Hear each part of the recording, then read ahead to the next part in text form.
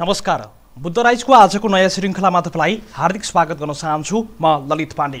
कार्यक्रम बुद्ध राइजमा हामीले विभिन्न विभिन्न विषयवस्तुमा फरक फरक व्यक्तित्वहरूसँग हामी प्रत्येक दिन कुराकानी गर्दै आएका छौँ।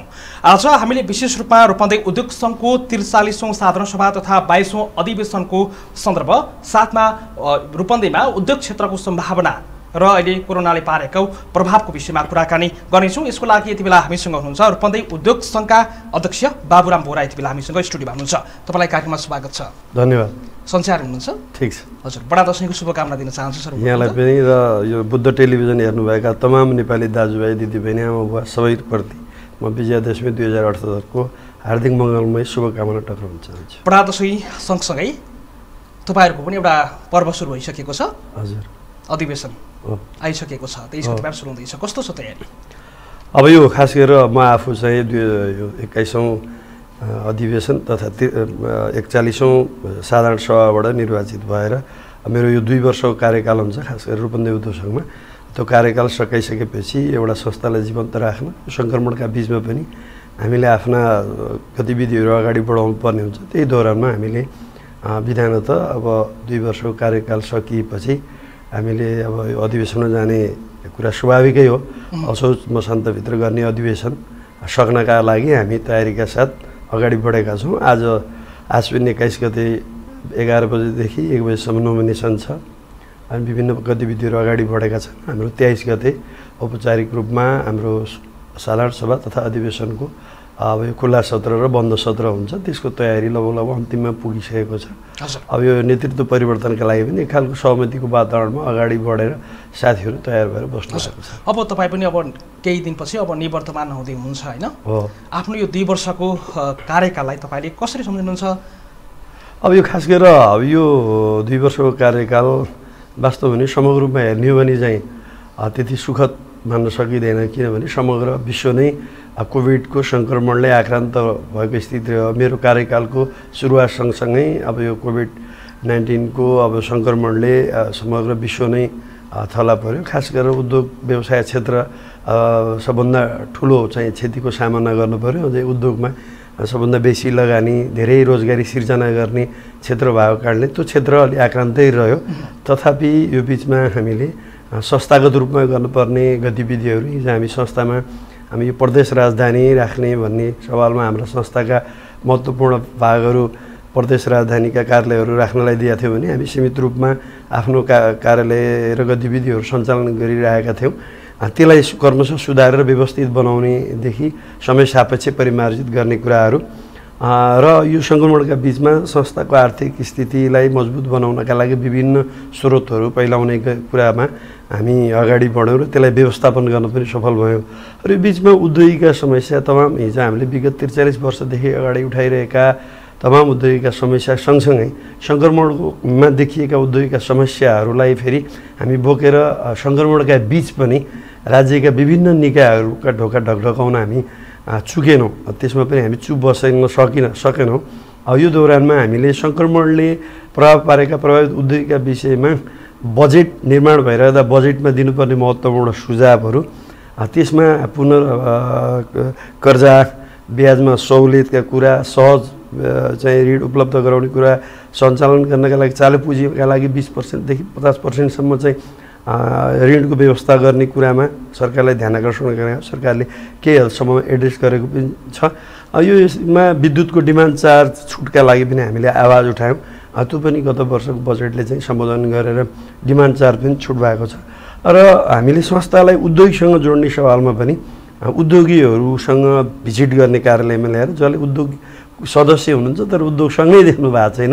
उहाँहरू कार्यव्यस्तताले उद्योगसँग टेक्नु भएको छैन उहाँहरूलाई संस्थामा ल्याएर सम्मानपूर्वक उहाँहरूका कुरा सुन्ने कुराहरू त्यसपछि उद्योगीहरू कहाँ गएर उद्योग भिजिट गर्ने कुराहरू सङ्क्रमणले प्रभावित भएका उद्योगहरूलाई भिजिट गर्ने कुरा बाढीले प्रभावित भएका उद्योगहरूमा भिजिट गर्ने कुरा र विभिन्न समस्याहरू झेलिरहेका उद्योगीहरू कहाँ पुगेर नै पनि उहाँहरूको समस्याहरू सुन्ने बुझ्ने गतिविधिलाई पनि हामीले जोड्यौँ यो बिचमा। र संस्थामा जोडिएका हिजो यो विभिन्न कालखण्डमा नेतृत्वमा रहेर संस्थालाई यहाँसम्म ल्याउन योगदान दिनुहुने जो अध्यक्ष हुन चुक्नु भएको विभिन्न कारणले उहाँहरूलाई पनि संस्थामा बोलाएर भेट्ने संस्थाका गतिविधिहरू जानकारी गराउनु र विभिन्न सल्लाह सुझाव लिने गतिविधिलाई पनि हामीले यो कार्यकालमा जोड्यौँ।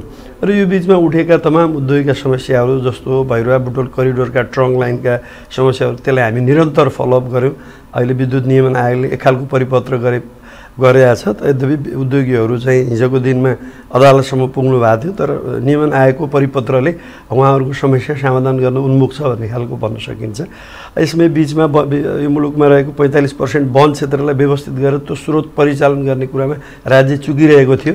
त्यसमा फेरि त्यो सुधारतिर लाग्ला भन्दा बिचमा यो सालका काठहरू निकासी पैठारीमा चाहिँ रोक लगाएको कुरालाई फेरि विभिन्न निकायलाई झकझकाएर त्यो खोल्नका लागि पहल गर्ने कुराहरू र विभिन्न परिस्थितिले अब उद्योगहरूले बिहोर्नु परेका कठिनाइका बारेमा जति उद्योगीहरूले आफ्ना सल्लाह सुझावहरू गुनासाहरू लिएर आउनुहुन्छ उहाँहरूका गुनासाहरू बोकेर हामी अगाडि निरन्तर रूपमा लायौँ। यो बिचमा हामीले धेरै गतिविधिहरू गरेका छौँ। यो क्षेत्रको औद्योगिक क्षेत्र निर्माणमा राज्यको ध्यान केन्द्रित गर्ने कुरामा समग्र चाहिँ यो यो क्षेत्रलाई चाहिँ औद्योगिक हबको रूपमा जसरी अगाडि बढेको छ त्यहाँ देखिएका चाहे भैरुवादेखि लुम्बिनी करिडोरका उद्योगका सवाल हुन् चाहे पन्ध्र किलोमिटर डिस्टेन्सले उद्योगीहरूले चाहिँ अनुमति नपाउन कारणले भ्याउनु परेका अखडा तमाम कुराहरू सँगसँगै सामाजिक कुराहरू बिचमा गौतम बुद्ध सामुदायिक अस्पतालले चाहिँ विभिन्न यो प्रदेश यो प्रदेशका विभिन्न जिल्लामा चाहिँ डायलिसिस सेन्टर सेन्टर विस्तार गरिरहेको छ।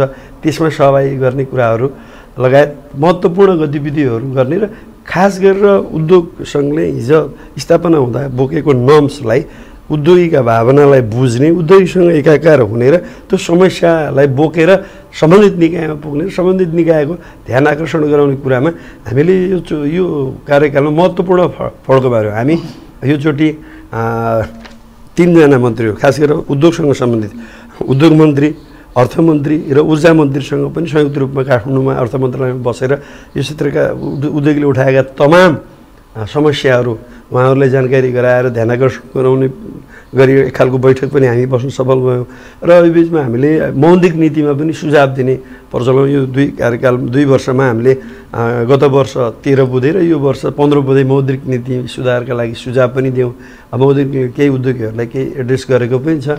धेरै नयाँ कामहरू र खास गरेर स्थानीय अब कोभिडको सङ्क्रमणसँगै यो क्षेत्रमा अब कोभिड अस्पताल बनाउन आर्थिक सहयोग दिने कुरा अनि त्यसपछि समग्र यो क्षेत्रका सोह्रवटै स्थानीय निकायहरूलाई त्यो उहाँहरूको राहत कोषमा आर्थिक सहयोग गर्ने कुरा र फेरि यो सोह्रवटै स्थानीय निकायमा गएर उद्योग सम्बन्धी उद्योग सङ्घ र स्थानीय निकायसँग अन्तर्क्रिया गर्ने कार्यक्रमलाई पनि हामीले जोड्यौँ। त्यहाँका उद्योगका समस्या औद्योगिक ग्राम निर्माण क्रममा देखिएका जटिलताहरू उहाँहरूले अगाडि बढाउनुभएका औद्योगिक ग्रामका निर्माणमा देखाउनुभएका गर खेल्नुभएका भूमिकाहरू लगायत त्यो क्षेत्रको औद्योगिक समस्या कृषिको समस्या पर्यटनको समस्या समग्र रूपमा स्थानीय सरकार अहिले आफैमा महत्त्वपूर्ण जिम्मेवार र अधिकार सम्पन्न स्थानीय निकाय भएको कारणले पनि एक खालको नीति निर्माण गरेर औद्योगिक विकास गर्ने कुराहरू साना साना उद्योगहरूलाई संरक्षण गर्ने कुराहरू उहाँहरूलाई औद्योगिक ग्राममा व्यवस्थित गर्ने कुराहरूमा ध्यान आकर्षण गराउन र महत्त्वपूर्ण छलफल गरेर महत्त्वपूर्ण एजेन्डा स्थापित गरेर यो क्षेत्रमा जिल्लाभरिको उद्योगीहरूको संस्था भएको कारणले जिल्लाभरि स्थापित गर्ने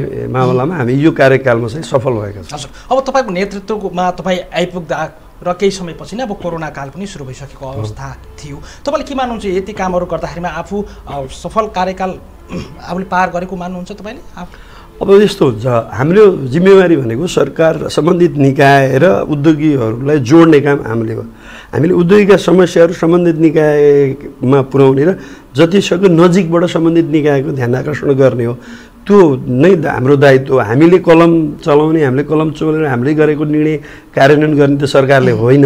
तर यी निर्णय हुनुपर्छ भनेर झकझगाउने मामलामा हामी यो कार्यकालमा महत्त्वपूर्ण भूमिका खेलेका छौँ। हामी सरकारका सबै निकायमा हामीले पछिल्लो चरण अब यो प्लास्टिक यो चालिस माइक्रोनभन्दा तलका झोला झोलाहरू निर् रोक्ने प्रयोगमा रोक्ने भनेर सरकारले नीति ल्यायो तर वातावरण मन्त्रालयले निर्णय लेख्दाखेरि सबै चाहिँ कच्चा पदार्थहरू चाहिँ रोक्ने गरी खालको निर्णय लेखेको कारणले ती प्लास्टिकका सिटहरू पनि आयात रोकेको रोकेको कारणले फेरि त्यसमा पनि हामीले उठायौँ र अहिले फेरि खोलिदिएर ती भन्सारमा रोकिएका र मेटेरियल बोकेका गाडीहरू गाडीहरू चाहिँ अहिले उद्योगसम्म पुगेको छ। यो बिचमा विभिन्न उद्योगहरूका प्याकेजिङ गर्ने प्याकेजिङ वस्तुहरू तपाईँको चाहिँ उत्पादित वस्तुहरूलाई प्याकेजिङ गर्ने प्लास्टिक जन्ने सामानहरू उत्पादन गर्न रोकिएको थियो। यो लेटेस्ट हो। ती ती कुराहरूलाई पनि हामीले सरकारको ध्यान आकर्षण गराउन सफल भएका छौँ र अहिले निर्वाध रूपमा उद्योगसम्म पुगेको स्थिति छ।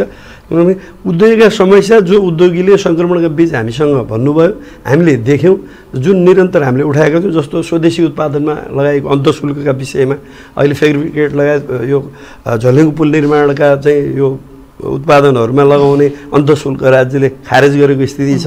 यी सबै तमाम कुराहरूलाई चाहिँ हामी उठान गर्नमा सफल भएका छौँ र महत्त्वपूर्ण खास गरेर सफल असफल भन्ने कुरा भन्दा पनि महत्त्वपूर्ण भूमिका चाहिँ खेल्न चाहिँ हामी सफल भएका छौँ। अब नयाँ नेतृत्व पनि आउँदैछ। अब नयाँ नेतृत्वले खास अब क- कस्तो भूमिका खेल्नुपर्छ जस्तो लाग्छ? के छ? चुनौती के देख्नु भएको छ र कस्तो भूमिका खेल्यो भने उद्योगीको पक्षमा हुन्छ। अब यस्तो छ यो खास गरेर के हो भने चुनौती त नेपालको औद्योगिक क्षेत्रमा।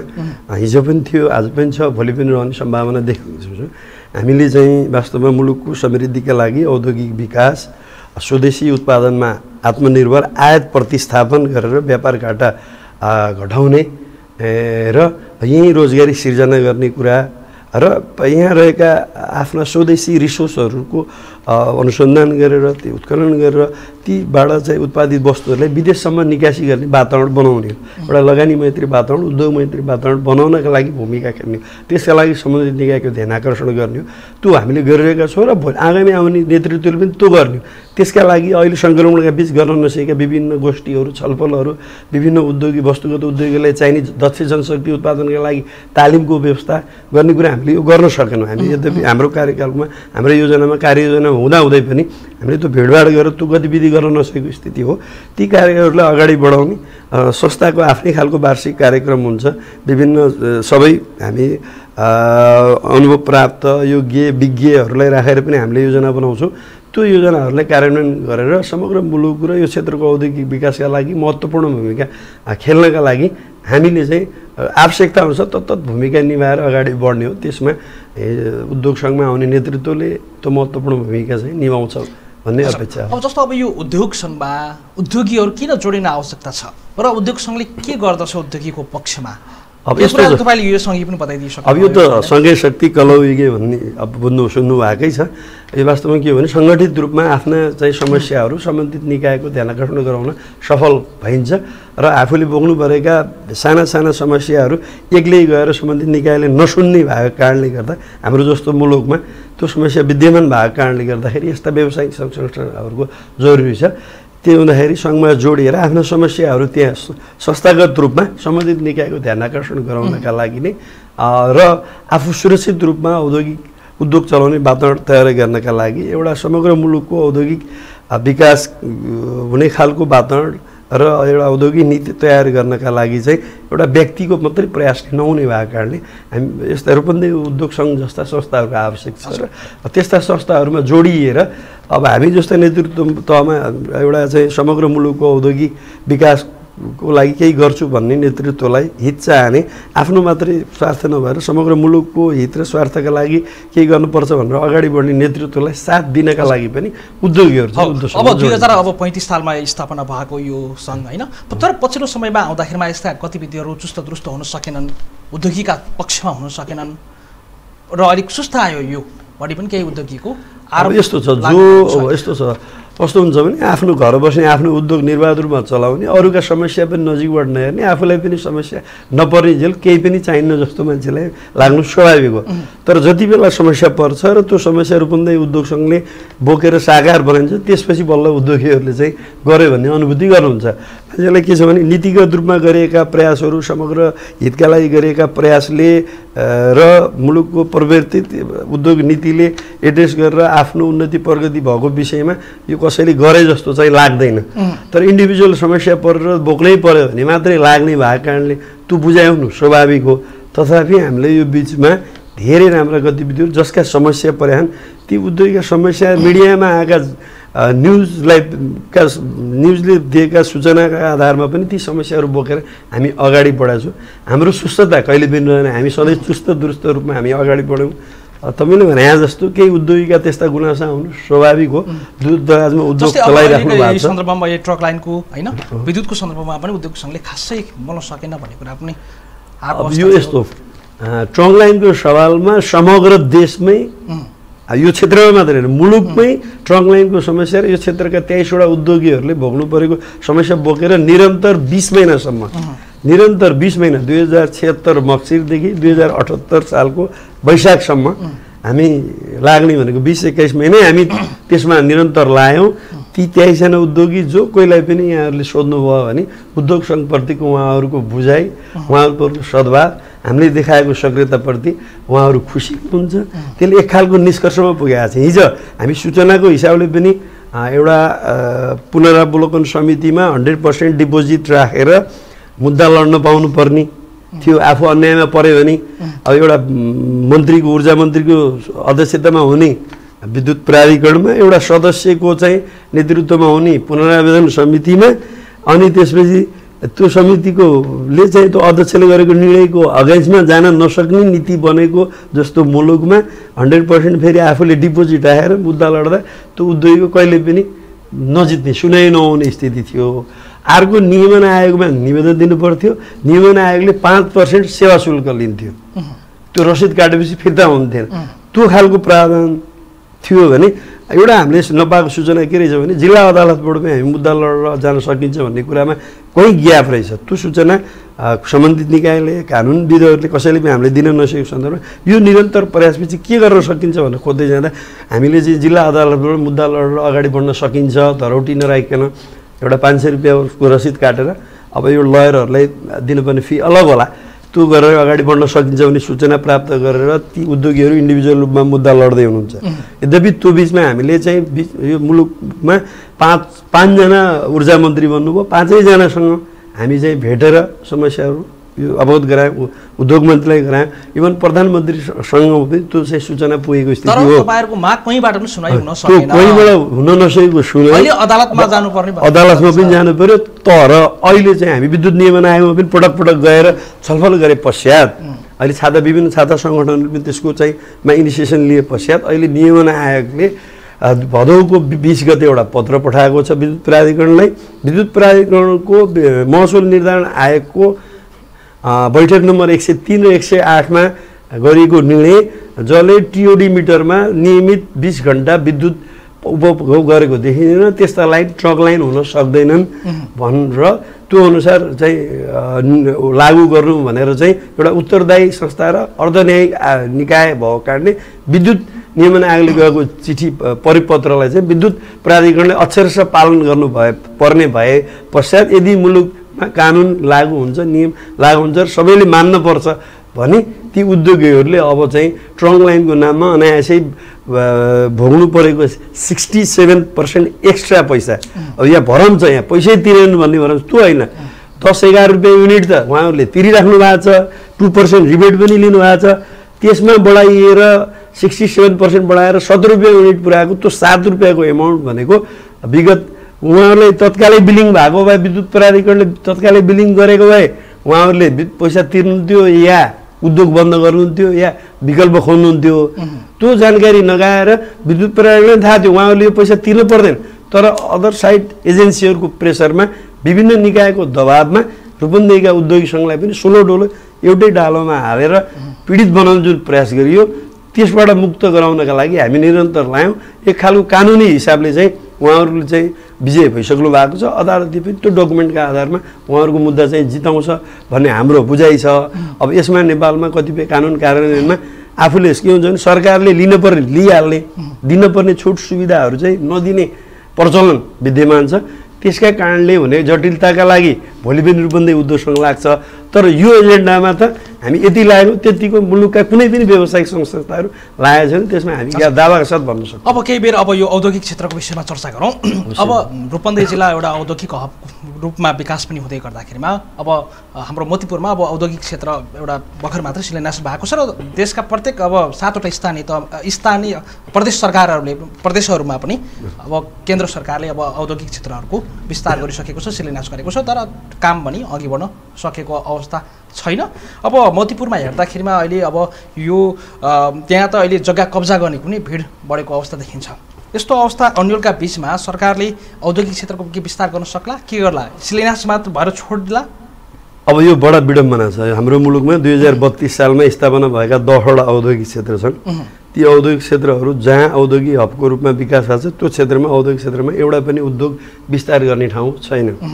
अब यहाँ रहेको औद्योगिक क्षेत्रमा पनि धागो कारखानाले ओगटेको एक सय अट्ठाइस तिस रोपनी कति जग्गा छ त्यसलाई व्यवस्थित गर्ने या त त्यो धागो कारखानामा लेटेस्ट टेक्नोलोजी ल्याएर धागै कारखाना चलाउने या कुनै ठुलो उद्योग चलाउने या साना उद्योगीहरूलाई उद्योग सञ्चालन गर्न दिनुपर्छ भनेर यो क्षेत्रका व्यावसायिक सङ्घ संस्थाहरूले विभिन्न विकल्पहरू राज्यको सामु प्रस्तुत गरेको स्थिति छ।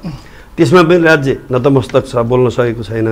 र मुलुककोमा चाहिँ दुई हजार बत्तिसपछि कुनै पनि औद्योगिक क्षेत्र खुलेनन्। बुटोलमा चाहिँ यहाँ क्षेत्रका व्यावसायिक सङ्घ संस्थाहरूले मोतीपुरमा जग्गा देखे पश्चात औद्योगिक क्षेत्र बनाउनु पर्छ भन्ने खालको अवधारणा पेस गरे। पछि राज्यले पनि मुलुकका सबै क्षेत्रहरूमा सातवटै। प्रदेशहरूमा चाहिँ औद्योगिक क्षेत्र बनाउनु पर्छ भनेर अब यहाँ मोतीपुर औद्योगिक क्षेत्रलाई एक हजार बिघा चाहिँ छुट्याउने भनेर आठ सय तेह्र बिघा त छुट्याइसकेको पनि स्थिति छ।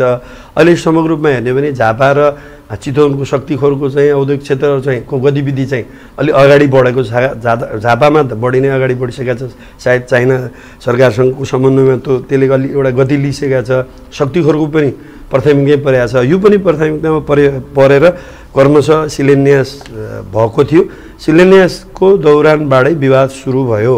अब सुनिश्चित रूपमा केही सुकुम्बासीका नाममा उहाँहरूलाई जोडेर उहाँहरूको अधिकार थियो होला उहाँहरू लामो समयदेखि बस्नु भएको थियो होला उहाँहरूलाई व्यवस्थापन गर्ने कुरामा सरकारको र यो क्षेत्रका औद्योगिक क्षेत्र चाहिन्छ भन्ने व्य- व्यावसायिक सङ्घ संस्थाहरूको चाहिँ उहाँहरूप्रतिको सोच चाहिँ पोजिटिभ र सकारात्मक छ। उहाँहरूलाई हटाउने होइन व्यवस्थापन गर्ने कुरामा राज्य चाहिँ गम्भीर बन्नुपर्छ भनेर हामीले ध्यान आकर्षण गराएका छौँ। तर अहिले यो बिचमा जुन एउटा सुनियोजित रूपले एउटा आतङ्कै मचाउने खालको गतिविधि भएको छ गाडीका गाडी आउने नाम दर्ता गर्ने नागरिकताको प्रतिलिपि पेस गर्ने सम्बन्धित निश्चित शुल्क तिरेर आफ्नो नाम सुरक्षित गर्ने अभियान अब चलाइएको छ। यसले चाहिँ यो बुटोलको हिजोको इतिहासलाई धुमिल बनाउँदैछ। यो औद्योगिक नगर यो औद्योगिक हबको रूपमा विकास भइरहेको क्षेत्र अब यो सिमानाका हिसाबले आयात र निर्यात गर्न सहज मुलुकको मध्यबिन्दुमा रहेको यो औद्योगिक क्षेत्र भएको कारणले मुलुकका सबै क्षेत्रमा यहाँ उत्पादित वस्तुलाई सहज र सुलभ दरमा चाहिँ वितरण गर्न हुने सहजताका हिसाबले जुन हिसाबले यो औद्योगिक विकास हुँदै थियो त्यसलाई यो यो अवरोध यो कारणले यो यस्ता गतिविधिले अवरोध सिर्जना गर्ने देखिन्छ। यो यसमा चाहिँ राज्य चुकिरहेछ। कहीँ न कहीँ राज्यले त्यसलाई कन्ट्रोल गर्नुपर्छ जसले त्यस्ता गतिविधि गरिरहेको छ उहाँहरूलाई चाहिँ बोलाएर सम्झाउने कुरादेखि लिएर विभिन्न आफ्नो दायित्व पुरा गर्ने पुरा गर्ने सवालमा राज्य अहिले चुकेको देखिन्छ। यस्ता गतिविधिले सरकारका र व्यक्तिका पनि जग्गा जमिनहरू सुरक्षित छन् भन्न सकिने स्थिति चाहिँ अब मुलुकमा देखिँदैन। अब जुन खालको हामीले हेऱ्यौँ यहाँ मसान घाट पनि नछोड्ने भइसके। होइन? त्यो स्थिति देखिएको छ। यो ज्यादै नै डरलाग्दो स्थिति हो। यसले समग्र रूपमा हेर्ने भने ठुलो दुर्घटना निम्ताउनेवाला छ। हिजो सामान्य शिलान्यास गर्ने कुरामा पनि नियोजित रूपमा अनावश्यक रूपमा मान्छेहरूलाई उचालियो ढुङ्गा मुढा गरियो आगजनी गरियो। वरिपरि आगो लगाइयो मञ्चका वरिपरि। हामी त्यहाँ प्रत्यक्ष दर्श्यौँ। यो कसैले यसले त्यहाँ यो मुलु यो मुलुकको समृद्धिका लागि रोजगारी यिनै नागरिकहरूलाई रोजगारी सिर्जना गर्ने हो। विदेशी अरू सम्पन्न मुलुकका हेर्ने हो भने त सम्प जग्गा वास्तवमा र सरकारको हुन्छ लिजमा लिएर नागरिकले चाहिँ प्रयोग गर्ने हो। सबभन्दा ठुलो कुरो दैनिक आय आर्जन गरेर पाउने रोजगारी हो। त्यो रोजगारी सिर्जना दैलो अगाडि दिनका लागि एउटा औद्योगिक क्षेत्रको विकास भइरहेको छ। एउटा सामान्य दस दुर पाँच दुर जग्गाले त सस्टेन गर्न त सक्दैन नि। त्यहाँ एउटा झुपडी बनाउँदैमा होइन? एउटा निश्चित रूपमा चाहिँ ऊ जेनुन सुकुम्बासी हो भने उसका जग्गा जमिन छैन भने भूमिहीनलाई चाहिँ व्यवस्थापन गर्ने कुरामा सरकार चाहिँ चुक्नु हुन्थ्यो सरकारको दायित्व। तर चाहिँ विभिन्न ठाउँमा जग्गा जमिन छन् कतिका जमिनदारी छन् मान्छे तराईका चाहिँ बिघा भए बिगौँ भएका मान्छेहरू शुद्ध दक्षिण मर्चुवारदेखि लिएर अब पाहाडसम्मका मान्छेहरू आएर त्यहाँ चाहिँ आफ्नो नाम दर्ता गराउने र बुटोलको नजिकै सहरको नजिकै घडेरी पाइन्छ भन्ने सपना देखेर जुन एउटा सपना देखाएर भ्रमित पार्ने काम गरिएको छ। अब यसले चाहिँ औद्योगिक विकास र यो औद्योगिक क्षेत्र निर्माणमा अवरोध सिर्जना गर्छ। यो क्षेत्रका समग्र व्यावसायिक संस्थाहरू एकजुट भएर त्यसका विरुद्धमा चाहिँ बोल्नुपर्छ अब यति बेला स्थानीय तह पनि अब औद्योगिक ग्राम निर्माणको लागि लागि परेको अवस्था छ। अब यो औद्योगिक ग्राम निर्माण भयो भने कस्ता अब उद्योगहरूलाई यहाँ अथवा भित्राउन सकिन्छ अथवा नयाँ उद्यमीहरूलाई कसरी आकर्षण गर्न सकिएला यी ग्रामहरूमा? यो खास गरेर के छ भने अहिले अब यो यसमा हाम्रो अनुभव के छ भने हामी विभिन्न त्यही भएर हामी स्थानीय निकायसँग अन्तर्क्रिया गर्ने दौरानमा यो विषयमा हाम्रो चासो बढिरह्यो। औद्योगिक ग्राम निर्माण गर्दा पहिलो कुरो त त्यो क्षेत्रमा रहेका बस्तीका बिचमा रहेका। हिजो यो क्षेत्रमा केही बस्ती थिएन। उद्योग स्थापना भयो सँगसँगै त्यहाँ रोजगारी सिर्जना भयो अनि व्यापार सुरु भयो अनि एउटा बस्ती बस्यो उद्योग बिचमा छ वरिपरि बस्ती भयो त्यो समग्र क्षेत्रको विकास हुन्छ। अनि त्यो फेरि त्यो सिङ्गो समाजले त्यो उद्योगलाई विस्थापित गर्न चाहिँ दिनरात प्रयत्न गर्छ। यो कारणले त्यो समाजको बिचमा पहिला उद्योग थियो त्यो समाज थियो अनि त्यसपछि उद्योग आयो भने उद्योग सँगसँगै उद्योगको विकास। सँगसँगै त्यहाँ व्यवसायको विकास भयो व्यापारको विकास भयो सिङ्गो समाज स्थायी भयो होइन? यो रूपन्देहीको इतिहास हेर्ने भने हिजोसम्म त यो चालिस चालिस साल अगाडि हेर्ने भने त धेरै पातलो बस्ती थियो। पचास साल अगाडिसम्म पनि पचास बाहन्नसम्म धेरै पातलो बस्ती थियो। आजको दिनमा अबसम्म यो ठुलो सिटीको रूपमा डेभलप भइरहेछ अब बस्तीको बिचमा रहेका उद्योगहरूलाई प्राथमिकता दिनुपर्छ। त्यो साना उद्योगहरू औद्योगिक ग्राममा अडाउन सक्छन्। ठुला उद्योगहरू र मजौला उद्योगहरू त्यो औद्योगिक ग्राममा अडाउन सक्ने कुरो पनि हुँदैन। अब एउटा मापदण्डको हिसाबले सात बिघा छ। तर यहाँ रहेका तिलोत्तमा सैना महिनाको अट्ठाइस तिस बिघा कति छ भने सैना महिनाले लगभग सैना महिनाको अट्ठाइस तिस बिघा र यो तिलोत्तमाको त्यो उन्नाइस बिस बिघा छुट्याएको छ। अरू पालिकाहरूले पनि छुट्याउनु भएको छ। त्यहाँ पहिलो प्राथमिकता त्यही भइरहेका खुली सञ्चालनमा आइरहेका उद्योगहरूलाई व्यवस्थापन गर्ने त्यसपछि त्यो क्षेत्रफल सुहाउँदो आफै उद्योगहरू आउँछन्। एउटा सुरक्षित वातावरणमा उद्योग चलाउने पाएपछि जो पनि आएर लगानी गर्ने स्वाभाविक भयो ठुला उद्योगलाई मोतीपुर औद्योगिक क्षेत्र जस्ता औद्योगिक क्षेत्रले एड्रेस गर्ने हो। यसरी व्यवस्थापन चाहिँ गर्न सकिन्छ। त्यो खालको गतिविधि अगाडि बढेको छ। यद्यपि पर्याप्त बजेट नभएका कारणले त्यो औद्योगिक ग्रामका गतिविधि पनि अलिक अल्पत्र सुस्त- छन् अहिले अल्पत्रै छ। अल्पत्र अवस्थामा छ अब त्यो चाहिँ देखिएको छ। अब हामी कार्यक्रमको अन्त्यमा छौँ। के भन्न चाहनुहुन्छ? अब कार्यक्रमको अन्तमा अब मेरो यो दुई वर्ष कार्यकाल सकेर म जाँदैछु। बिचमा संस्थागत विकास यो क्षेत्रको औद्योगिक विकास उद्योगका समाधान समस्याहरू समाधान गर्न यो क्षेत्रका मिडियाहरूले गर्नुभएको सहयोग त्यसपछि यो क्षेत्रका उद्योगिक व्यवसायले देखाउनु भएको सद्भाव हाम्रा अग्रजहरू संस्थाका पूर्व अध्यक्ष कार्य सह- सहकारी मित्रहरू र सम्पूर्ण शुभेच्छुकहरूले देखाउनु भएको एउटा सद्भाव एउटा शुभेच्छा दिनुभएको शुभेच्छाप्रति हार्दिक कृतज्ञता पनि प्रकट गर्न चाहन्छु। यहाँले कार्यकालको अन्तिममा यो प्रबन्ध उद्योग सङ्घ र यसले गरेका दुई वर्षका गतिविधिहरू संक्षिप्त रूपमा यो एउटा प्रस्तुत गर्ने अवसर पनि दिनुभयो। त्यसप्रति बुद्ध टेलिभिजन परिवार र यहाँप्रति पनि हार्दिक धन्यवाद र आभार व्यक्त गर्न चाहन्छु। हस् धन्यवाद तपाईँको महत्त्वपूर्ण समय अनि कुराकानीको लागि। धन्यवाद। आदरणीय दर्शक महानुभाव यति बेला हामीसँग हुनुहुन्थ्यो। रूपन्दै उद्योग सङ्घका अध्यक्ष बाबुराम बोहरासँग आज हामीले कुराकानी गरौँ। आजको बुद्धराइजबाट म ललित पाण्डे पनि बिदा माग्छु। नमस्कार।